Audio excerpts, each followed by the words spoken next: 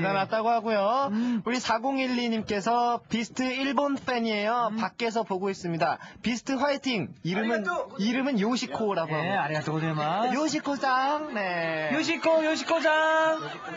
어, 오픈 스튜디오가 지금 열렸어요. 안녕하세요! 안녕하세요, 예, 네. こんばんは.